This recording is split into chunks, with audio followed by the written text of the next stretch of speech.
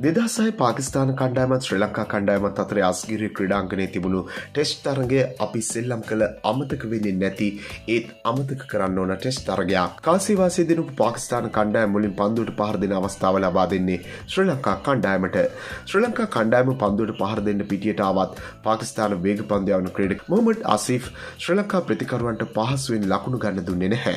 ශ්‍රී ලංකා එනිම ලකුණු දෙසි හැත්තෑ නමයකට සීම කරන්න පාකිස්ාන් පන්දයාවන්න සමත් වෙනවා. ශ්‍රී ලංකා ඉනිම ඒ තරම් දුරක් අරගෙන යන්න සමත් වෙන්නේ ලකුණු 79ක් අරගන්න කුමාර් සංකක්කාරගේ ඉනිම. තිලන් සමරවීර ලකුණු 65ක් අරගෙන සංඝට හොඳ සහායක් දෙන්න සමත් වෙනවා. ඒ වගේම ගරාවටන ශ්‍රී ලංකා ඉනිම සමීප කරන මාලිංග බණ්ඩාර ලකුණු 43ක් ලබා ගන්නත් සමත් වෙනවා.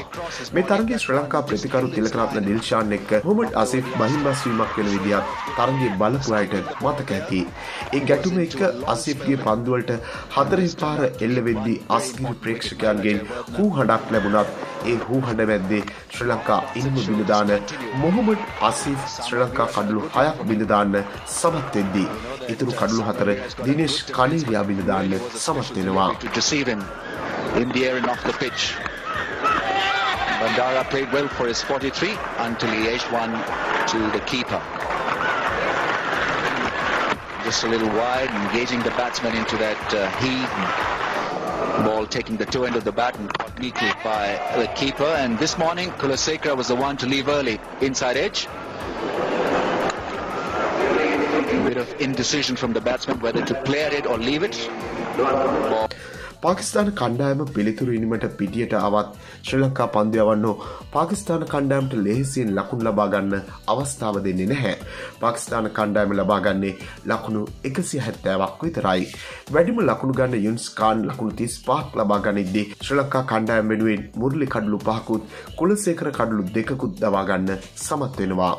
ලකුණු එකසේ නමයක වාසයක් එක්ක පිටියන ශ්‍රී ලංකා කණ්ඩායමට මුණ දෙන්න වෙන්නේ හීනින්වත් හිතපු නැති කරදරයකට ශ්‍රී ලංකා ඉනිම ලකුණු හැත්තෑ තුනකදී විදාන්න පාකිස්තාන කණ්ඩෑම සමත් වෙන්නේ අබ්දුල් රසක් ලබාගන්න කඩුළු හතරත් මොහමඩ් අසිෆ් ලබාගන්න කඩුළු පහත් එක්ක really fancy that they're going to hit the stumps but Mohammed Asif has just been hitting the hitting the furniture one after the other I think what the first four first five guys I think were all bowled and that really you've got to say and, and if you're constantly letting the ball go and it's hitting the stumps you've got to start questioning yourself as well so so that is one thing that I would say leads me to think that the batting hasn't been all that it should be. I mean, it's just, you, you can't speak highly enough of this bowling performance and, and, and the heart as well. I mean, it's fine to do it in the first innings when the game, you know, Pakistan won the toss, sent the opposition in.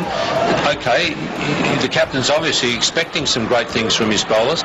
There was a bit of assistance there because there hadn't been a lot of rain in the lead up to the match.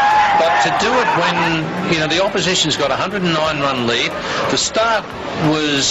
Pakistan කණ්ඩෑම්ට ලැබෙන්නේ ලකුණු එකසිය අසුතුනක ඉලක්කය. කඩලු දෙකක් විතරක් දැවිල පහු කරලා යන්න පාකිස්ානය සමත්වෙද්දී යුනිස්කාන් නොදවී ලකුණු හැත්ත ඇතුනකුත් ඉම්රාන් පරහට ලකුණු හැට පහකුත් ලබාගන්න සමත් වෙනවා. ශ්‍ර ලංකා කඩලු එකොළහක් බිඳදාන මොහමඩ් අසිෆ් තමයි තරගේ වීරයා වෙන්නේ. වැඩි වීඩියෝ දිනපතා බලන්න අපත් සමග එකතුවන්න. ඔබ තවමත් අපේ චැනලක සබස්ක්‍රයිබ් කල නැත්තං දැම්ම අපිය සබස්ක්‍රයිබ් කරන්නත් ක්‍රිකට්වලට කැමති ඔබේ යහලයකුට බලන්න මේ වීඩියකෂයා කරන්නත් අමතක් කරන්න එපා. ක්‍රිකට් පිටිය නැවම්දේ සපරි තවත් අලුත් වීඩියෝවකින් හමුවනතෙක් ක්‍රිකට් ලංකාවෙතින් ඔබට සුබදවසක්.